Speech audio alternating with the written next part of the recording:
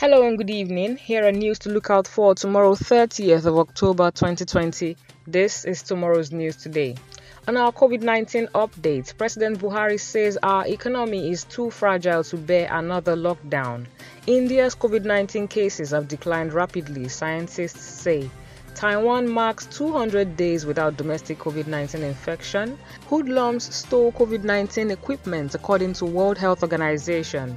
For local news, six inmates escaped from Delta Detention Center. We planned on giving sugar to Ondo bakers for lower bread prices, government declares. 21 dead as school bus trailer collide in Enugu.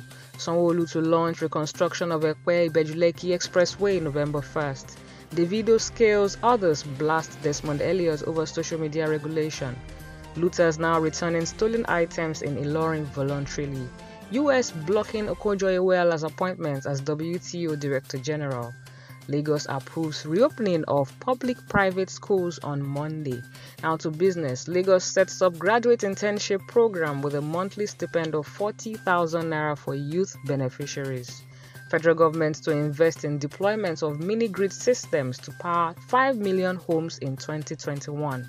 Straight to foreign news, 15 killed in DR Congo military attacks. Now in tech, Nokia doubles profits, pledges to win at 5G. Finally in sports, Akpeyi gets Nigeria recall for Sierra Leone games. To get this and many more, do visit our website guardian.ng and you can also get a copy of the Guardian newspaper at your newsstands tomorrow. And don't forget to connect with us on social media via Facebook, Instagram, Twitter, and YouTube at Guardian Nigeria. Thank you so much for watching. Stay safe.